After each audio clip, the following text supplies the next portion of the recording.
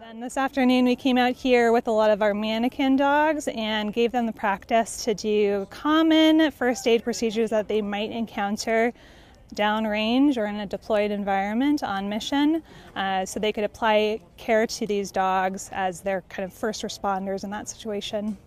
So we had a couple that are dealing with bleeding wounds, so stopping bleeding. We have robot dogs that simulate that bleeding so they could practice occluding that bleeding, stopping it, performing bandages, getting simple things like vitals, so temperature, heart rate, breathing rate on these guys, doing stabilization of wounds like applying bandages, applying a chest seal. So those are some of the common things that we were dealing with today. And then we have teams of handlers from Fort Rucker, Eglin Air Force Base, Hurlburt Field, Keesler Air Force Base, Meridian, and Gulfport as well. So we have a lot of handlers and then veterinary staff as well here for the training.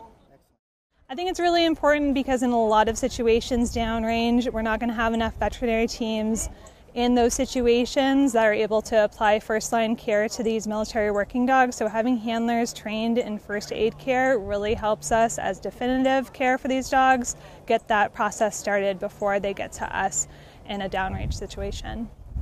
It's important because uh, the dogs, like ourselves, we're always potentially in a situation where things can go wrong. And when things go wrong, you get injured, life threatening injuries, and it's important to be able to bandage up our partners as much as the Navy tries to bandage us up too.